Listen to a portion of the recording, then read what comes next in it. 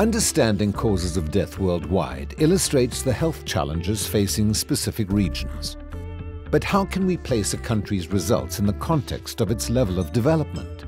Scientists have been trying to move away from labeling countries as developed or developing, and World Bank categories give a picture of development limited to income.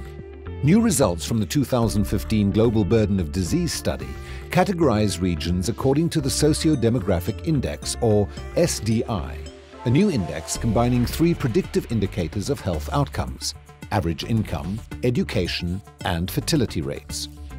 This study examines SDI and life expectancy, both of which increased from 1980 to 2015 for every region.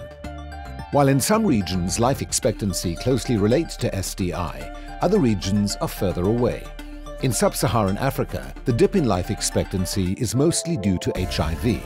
For Central Europe, the cause is alcohol-related deaths. And North Africa has better life expectancy than that predicted by SDI. While there are disease-related deaths we can predict, there are also deaths due to war and natural disaster that we cannot. Mortality shocks show spikes in deaths here due to genocide, drought, and earthquakes. Causes of death vary by SDI. At a low SDI, we see more infectious diseases and maternal mortality.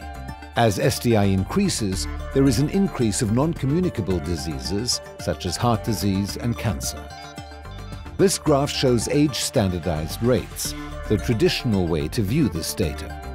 But with development, there's not just a change in cause of death, but also in age profile of the population.